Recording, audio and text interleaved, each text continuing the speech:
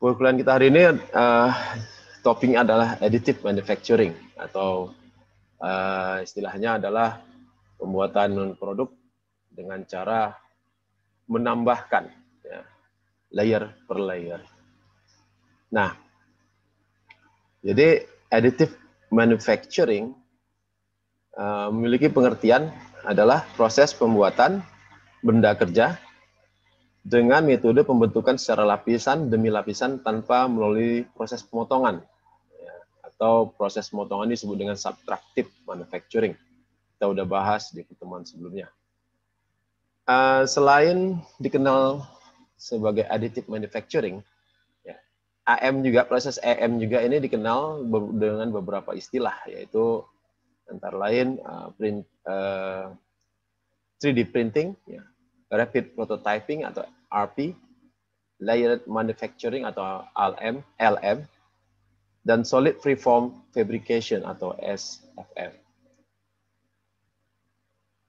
Nah, jenis-jenis uh, additive manufacturing yang akan kita bahas pada pertemuan kita kali ini adalah pertama binder jetting, the dielectric energy deposition, kemudian material extrusion, material jetting, powder bed fusion, dan seed lamination.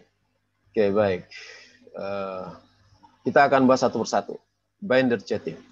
Nah, binder jetting ini adalah uh, proses pembuatan benda dengan cara mencetak benda lapisan dengan lapisan dengan menggunakan serbuk.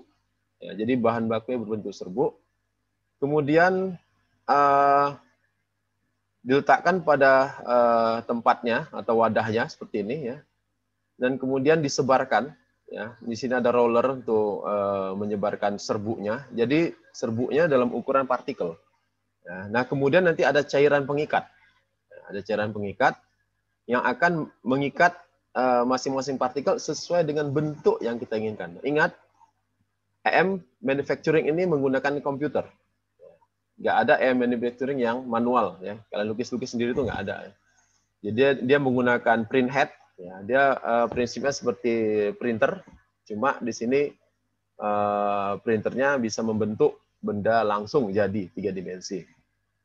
Nah, setelah uh, diikat, kemudian di, diberi ultraviolet ya supaya dia uh, cepat mengeras.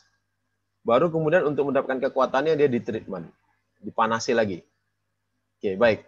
Untuk tidak menambah kebingungan kalian tentang uh, binder, binder jetting ini, maka saya akan perlihatkan ke kalian video, ya video prosesnya. Baik. Baik, ini adalah alat ya, alat binder jetting ya.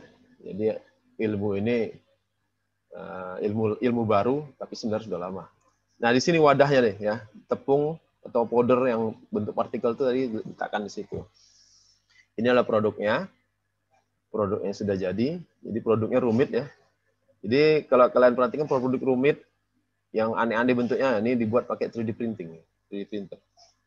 Jadi prosesnya seperti ini ya, dibuat di komputer dengan menggunakan software, kemudian eh, bahan bakunya dalam bentuk partikel, sebut partikel diletakkan di dispensernya. Nah ini dia Ya, ini uh, proses ultravioletnya. Ini dia, ini cairan perkatnya. Jadi tadi uh, apa namanya tepung tadi sudah ditebar, kemudian dibuat, uh, kemudian di ultraviolet nih dikeraskan di sini, ya, keraskan. Kemudian dicetak lagi, di, di, kemudian diberikan lapisan lagi. Ya, satu lapisan itu 6 mikrometer, jadi kecil sekali satu lapisan. Nah, terus dibuat cetak. Nah, setelah selesai baru di treatment atau dipanaskan di dalam dapur pemanas dengan suhu tergantunglah sesuai keperluan. Ini enam ya. Baik, setelah selesai baru kemudian dipisahkanlah uh, tepung yang tidak terikat dengan yang terikat. Ini produknya. Jadi seperti itu proses binder jetting.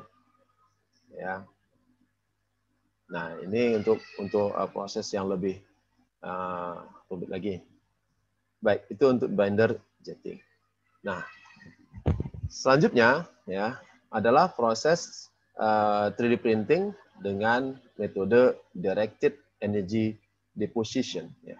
Nah, DED ya, DED ini menggunakan uh, sama tetap serbuk partikel bahan baku yang uh, dialirkan di dalam satu nozzle dan kemudian di ujung nozzle itu diberi energi laser berkekuatan tinggi sehingga dia langsung seketika cair dan mengendap uh, pada uh, bed atau uh, platformnya pada meja kerjanya kemudian nanti membentuk. Jadi nanti akan bergerak itu.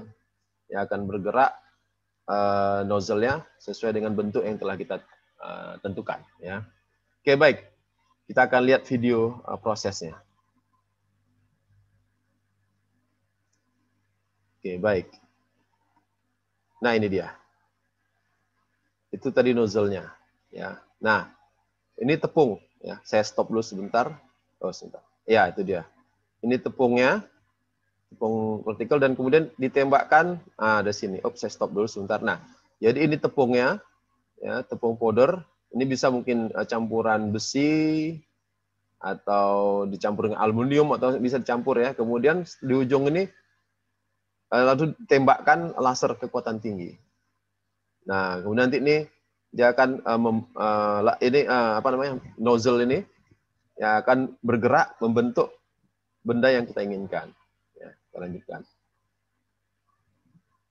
Nah, seperti ini. Nah, ini dia. Jadi buat selang uh, pipa atau channel-channel uh, yang aneh-aneh, nah ini buatnya pakai ini, seperti ini, ya, dengan 3D printing. Nah, mungkin kalian punya ide ya untuk membuat membuat eh, benda-benda yang rumit maka kalian gunakanlah 3D printing. Kalau gunakan eh, cara manual akan makan waktu lama dan biaya yang mahal.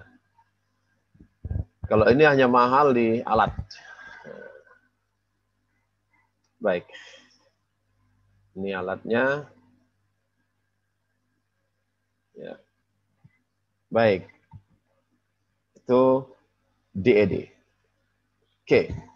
Selanjutnya kita masuk ke uh, proses yang kali ini uh, menggunakan ini kali ini bahan ini hanya untuk bahan uh, sorry proses ini hanya untuk bahan plastik ya. Material extrusion nanti satu lagi kawannya adalah material jetting. Nah material extrusion ini dia uh, nanti apa namanya uh, alat apa namanya bahan bakunya itu dalam bentuk gulungan. Sudah ada dalam bentuk gulungan. Nah ini dia dalam bentuk spool ya. Nah kemudian nanti dia akan melewati apa namanya nozzle juga seukuran ini. Nah tetapi nanti di di sini nozzle ini sifatnya memanaskan. Sehingga nanti ketika keluar dia sudah bentuk cair kemudian diletakkan di meja, meja kerja, begitu sampai meja kerja, begitu kena udara lingkungan dia langsung mengeras, ya. Dan untuk bentuk-bentuk yang hang atau yang menggantung itu dia memerlukan bahan support, maka di sini ada material support. Material support ini material yang uh, tidak begitu kuat, ya, dan tidak begitu merekat, tapi dia cukup untuk menahan uh, material uh, material aslinya ya betul sorry material yang mau dibentuk ya. Jadi khususnya sorry fungsinya hanya untuk menahan aja nggak lebih. Setelah itu dia mudah dibongkar. Nah material metode material extrusion ini disebut juga dengan istilah fused deposition modeling atau FDM jadi kalau kalian dengar FDM nah inilah dia material extrusion baik kita lihat videonya ya. Nah, ini video FDM, material extrusion.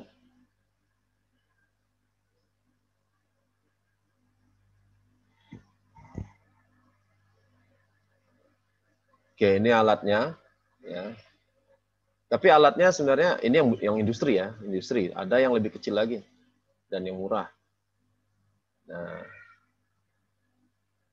oke, ini seperti itu nanti print headnya bergerak ya.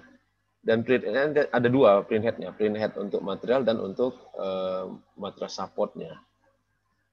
Ya.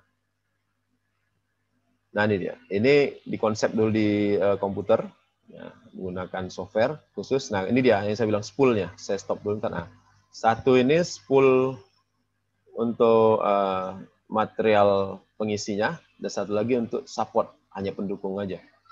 Ya. Nah, selanjutnya, ah, sorry, support model ya. Nah, kemudian selanjutnya material itu kan dialirkan kemari. Nah, ini gulungannya. Iya, dia dalam bentuk uh, gulungan ya. Nah, kemudian nanti di sini dicairkan nih pemanas, pemanas ya. Nah, jadi seperti ini. Ini yang putih adalah material material uh, support, sementara yang yang hitam ini adalah material modelnya material hitam ini akan membentuk. Nah, seperti ini jadinya. Jadi ini untuk membuat uh, apa kipas komputer ya, kipas pendingin komputer kalian. Nah, seperti itu buatnya. Nah, jadi layer per layer. Ya, layer per layer. Nah, setelah selesai, uh, material supportnya akan dipisahkan. Dipisahkan dengan material modelnya. Nah, itu dikerok ya. Kemudian nanti dicuci, bersihkan, cuci di, di cairan khusus sehingga dia mudah lepas, baru kemudian dihaluskan. Nah ini kipas angin kalian yang dari apa plastik ya, itu dibuat pakai material extrusion. Nah ini yang suka main game ya PS ya. Nah, itu. Jadi kalau PS kalian rusak, belilah kalian alat ini untuk buat sendiri yang gitu ya. Baik, itu material extrusion.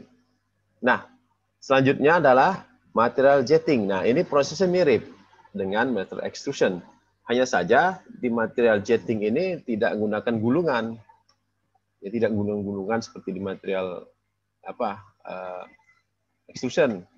Di sini dia menggunakan cairan. Jadi ini mirip persis seperti tinta printer kalian. Nah, jadi dia menggunakan uh, untuk mengeraskan dia menggunakan, menggunakan ultraviolet. Ya, jadi begitu dia keluar langsung di ultraviolet. Dan ini juga menggunakan material support untuk bagian-bagian yang menggantung. Oke. Jadi perbedaannya hanya di uh, apa? Di bahan bakunya ya. Kalau tadi uh, bentuk gulungan, kalau ini bentuk cair. Prosesnya atau uh, metode sama ya. Nah, ini kita lihat videonya. Oke, baik.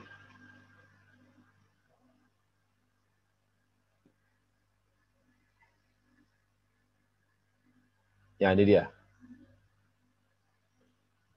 Nah, jadi ini udah udah kelihatan ya.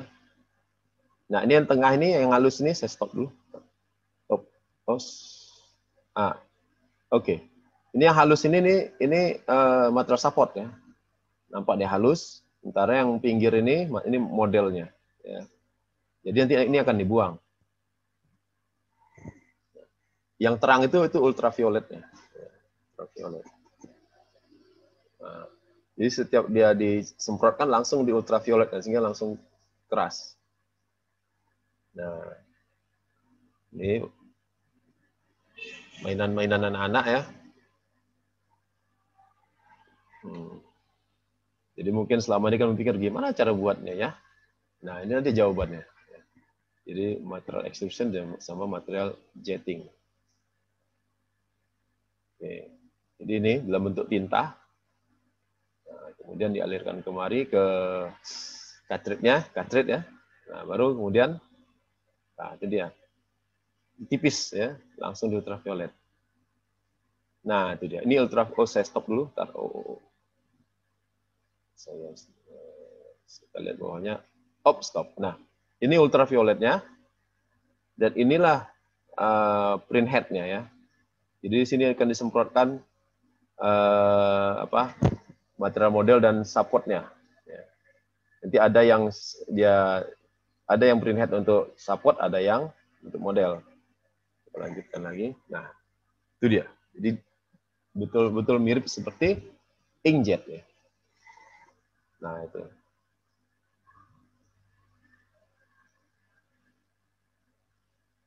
Nah, itu ya.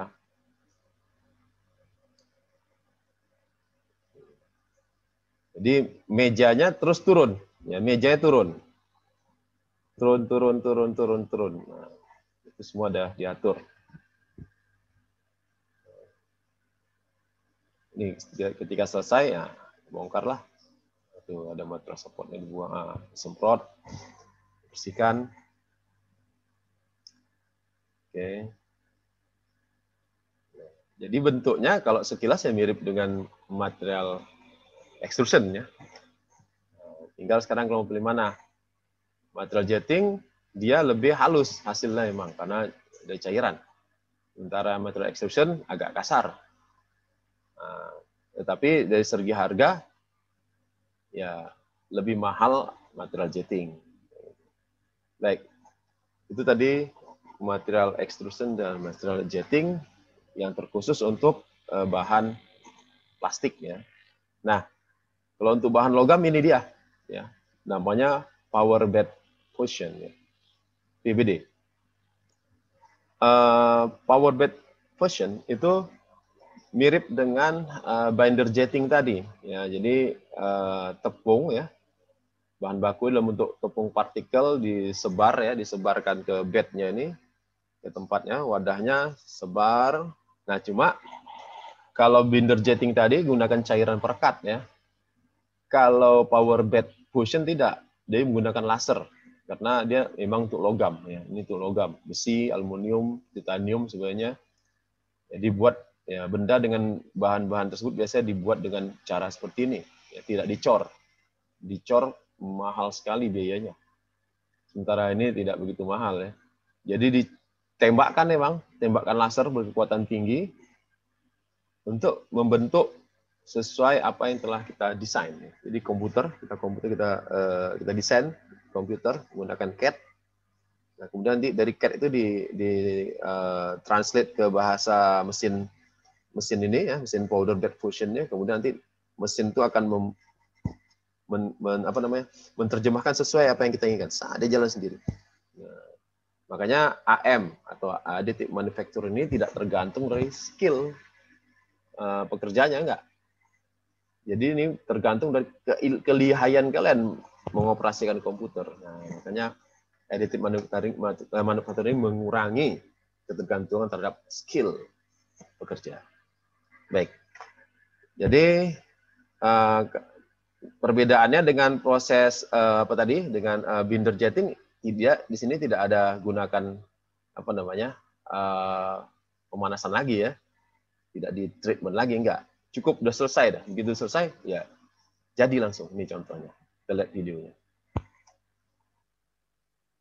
Nah, ini videonya ini mesinnya. Ya, kalau kalian mau beli silahkan. Kalau harga jangan tanya saya ya. Nah ini di uh, program dulu di komputer ya. Di setting dulu. Oke perlu tuh belajar AutoCAD CAD ya. Nih, setelah kalian buat gambarnya seperti ini, nah, kemudian kalian uh, masukkan ke sistem. Nah, dah, tinggal jalankan. Disimulasi dulu dia di apa istilahnya ya, di compiling dulu. Setelah oke, okay, compiling cocok, gambar bisa dibuat. Nah, maka geraklah dia. Ah, ini dia. Ya, ini uh, serbuknya tadi, ya, serbuknya tadi. Ini lasernya di, di atas mat apanya ya, tembak di atas, nah, tembak dia. Ya. Jadi nggak nampak, headnya nggak nampak di atas ya, tembak, seperti tembak laser. Ya, ya. Jadi terus per layer per layer, gitu selesai nanti, ah, ini dia konsepnya. Begitu selesai langsung ditabur lagi. Nah, di roller, sama. Oke, kemudian dia balik. Baru diratakan lagi. Nah, baru masukkan ke sana. Baru di ya laser lagi, di laser. Setelah itu timpah lagi. Ya. Nah, ini dipercepat ya. Sebenarnya tadi nih, sap, ya. Kemudian timpah lagi, laser lagi, seret, terus hingga membentuk seperti apa yang kita programkan dan kita inginkan. Ini lasernya berkekuatan 400 watt sampai 1 kilowatt. Begitu hidup mesin laser kalian, maka satu kecamatan mati lampu, kan gitu kan? Baik, tapi menarik ini. Ya, Yang tahu nanti kalian rezeki kalian jadi pengusaha ini ya. Saya saya cuma ikut nimbrung aja, pesan model kan. nah ini dia. Ini serbuknya dalam bentuk partikel. Oke. Okay. Ini dia. Ini ini buat impeller ya.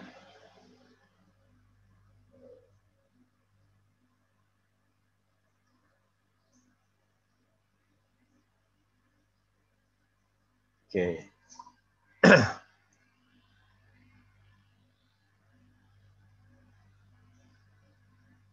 ya. Power bed fusion ya. Ini produk-produknya ya, produk-produknya.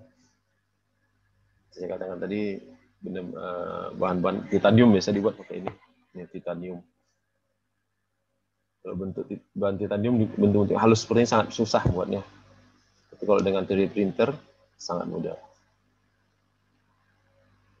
Impeller yang tadi dibuat, impeller untuk sepeda motor kalian ya. Oke, baik. Itu power bed version. Baik, kita lanjut lagi. Ya, saya pikir ini yang terakhir yaitu sheet lamination. Ya. Nah, di sheet lamination uh, proses pembuatannya berdasarkan eh, lembaran-lembaran. Nah, jadi kalau sheet lamination bisa semua semua bahan, kertas bisa, plastik bisa, logam juga bisa. Yang penting syaratnya adalah bahan bakunya dalam bentuk lembaran-lembaran. Jadi uh, nanti dia akan direkatkan bersama, kemudian dibentuk, yang dipotong. Biasanya menggunakan laser. Nah di sini ada sedikit menggunakan uh, metode subtractive ya manufacturing PSM yaitu proses pemotongan. Tetapi uh, kenapa dia dimasukkan ke dalam additive manufacturing karena ini prosesnya uh, lapisan per lapisan. Baik kita lihat videonya saja.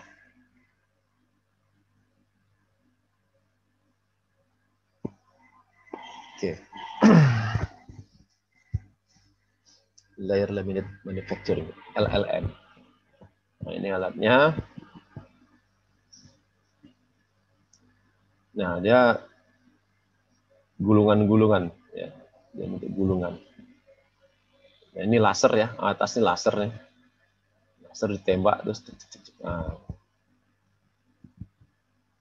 nah berjalan lagi dia bergeser lagi.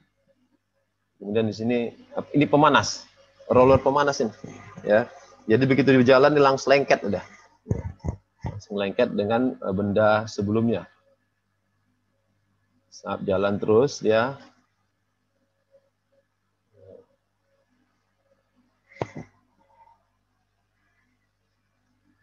nah kita saksikan aja ya. Nah, ini dia. Jadi gulungan ini gulungan awal ini gulungan akhir. Jadi mutar terus ya mutar. Nah, masuk. Dan benda yang jadi di sini sudah berlapis-lapis nanti selesai. Geser lagi. Kemudian direkatkan pakai ini pemanas ini. Roll ini roller panas tap. Udah lengket ya terus nah, yang main laser. Jadi jangan coba-coba kalau letakkan tangan kalian di sini ya. Ikut potong nanti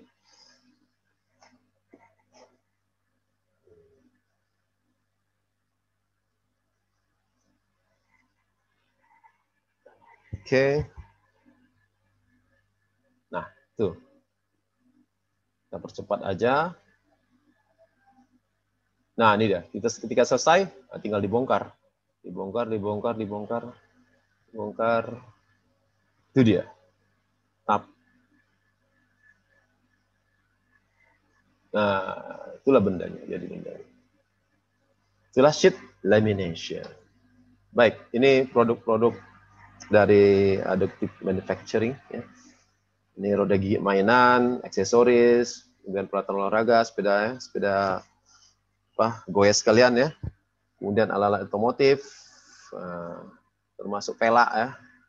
Pelak mobil kalian ada juga yang dibuat pakai uh, eh, 3D printer. Kemudian nih, ini mungkin di mesin ya, mesin industri kalian di mobil pun ada ini yang aneh ya bentuknya. Wah, ini mungkin kalian berpikir, Pak buatnya gimana nih Pak ya? Buatnya, nah, ini buatnya ternyata pakai 3D printing. Jadi nggak serumit yang kalian pikirkan. Ya, ya. Ternyata pakai 3D printing. Kalau pakai 3D printing gampang sekali. Kita tinggal hanya tinggal jago gambar aja. Kemudian untuk di pesawat terbang nih, turbin, ya, turbin pesawat terbang, kemudian robot. Nah, bagi kalian yang peminat robotik nih biasanya ada di uh, mahasiswa D3 ini biasanya ada yang masuk ke grup robotik. Nah, kuasailah ini 3D printing sehingga kalian bisa buat robot-robot yang aneh-aneh. Gitu. Baik, itu saja perkuliahan kita. Terima kasih atas perhatian kalian.